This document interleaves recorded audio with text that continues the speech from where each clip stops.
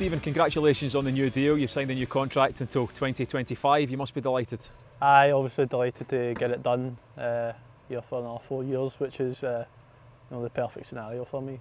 It's been a it's been an odd year for some, a disappointing season for many here. But ironically, you'll look back on this year as being a season to remember. Uh, of course, it's been disappointing uh, for the team, for the club, but uh, I getting a consistent run of games, uh, you know, regular game after uh, the Christmas the, the Christmas period there, and it's just about you know keep keep doing that, uh, keep playing, keep playing well, uh, hopefully until the end of the season. Now. There's a, a quote up at Celtic Park from the late great Jock Stein that says that you know the Celtic jersey doesn't shrink to fit inferior players. You're a good person to ask about that. Have you really felt that you, you fit that jersey? I will hopefully. You know, I've not played a lot of games. I think it's when you know you play 50, you know, 100 games with like the other boys and that have came through the academy have done. So I, it's just, uh, it's just putting that form consistently, uh, doing well, working hard in training as well. That's what it's about, and getting your chance. It's it's be, it's about being a bit lucky as well. So hopefully that all comes together. It's about, it's about, taking the chances when, when you get them as, as well. And is your story perhaps a lesson to some of the, the younger boys here at the academy who are, who are looking for their chance, maybe getting a little bit impatient? You've been on the periphery for a number of seasons. You know, the lesson maybe just stick in, work hard, your time will come. Exactly. There's only a couple of, a couple of people from you know each, each age group that will make it. You know, there's not many, so uh, I think you just need to work extra hard in training and games. You know, do a bit extra uh, whatever it is uh, to, to try and make it. And you know, as I said, there's only one or two boys from each uh, from each age group that make it, so it's very it's very hard to come through.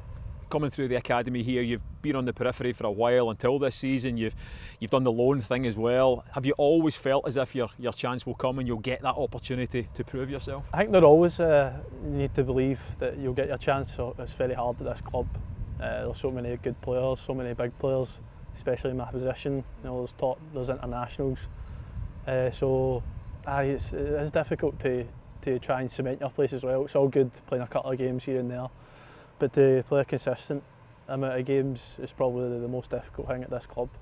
And, and to show the consistency, you mentioned about the position you're in. You're in one of the most important positions on the field, but you, you certainly do seem to be playing with a lot of confidence now. Aye, aye, especially when, when you're playing next to Big Chris. You've got Jonjoe next to you as well. Uh, you know, they're experienced players. Chris is you know, playing with Nor Norway uh, at a high level. John just playing the Premier League, so it makes it very easy uh, when you're playing players of that calibre uh, and you know, can fit in really well with them. Certainly under John, everyone seems to know exactly what their job is. Yeah, I think the, the style of play, I think you saw that at the weekend, uh, were unplayable at times. You know, it, could, it could have been anything, could have been 89 goals. I think that was coming though. Uh, we've, we've played well the last few weeks, the goals just haven't been there. So the performance and the, the, chances we created against Livingston were, were very good and uh, hopefully we can take that into the weekend. What are the areas of your game that you think have improved the most since you've had a run in the team? Uh, probably on the ball. I think at, at Celtic, you, as a centre half, you need to be very, very good in the ball because uh, we've, we've always got most of the ball, especially like Celtic Park when teams are coming in and make it making it difficult for you. You need to be good in the ball. You need to be you know, feeding in the midfield and the strikers. So I'd say you know, the passing forward, forward passes has been has been a big improvement and just all round game. Uh, the the concentration when you're when you're attacking all the time.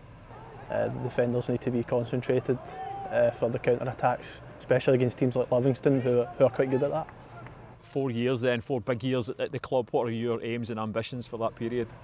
Well, for the end of the season, that's all I'm looking at now. Just to the end of the season, we've got the Scottish Cup to play in. Got a massive game at the weekend, so we'll be looking at that first. And a, a good, uh, a good finish to the league. You know, we want to go and win all our games against the other top, the top six in the league. So we know it'll be tough games.